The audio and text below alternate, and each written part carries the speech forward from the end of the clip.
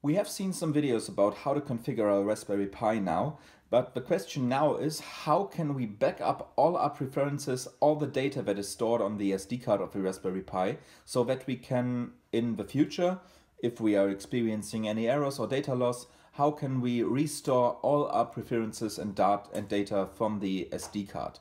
The solution is to make an exact image of the SD card and I'll show you how to do that on Mac in this video. First thing we do is to open up the disk utility. The disk utility shows all the hard drives connected to our Mac and also our SD card with the partition boot, which is typically for our Raspberry. Now we select this partition boot and we go to the menu bar and say File, New Image and say New Image from boot. Now there is a dialog and we can enter the name we want to save the image as and the place we want to do it, we click save and now the system is generating the image backup which we can later restore to any SD card we like.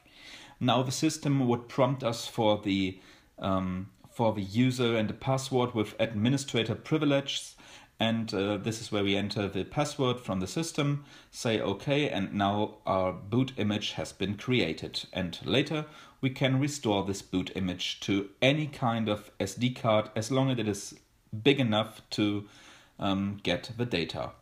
So at the point we um, saved it, here it is, our image from the SD card.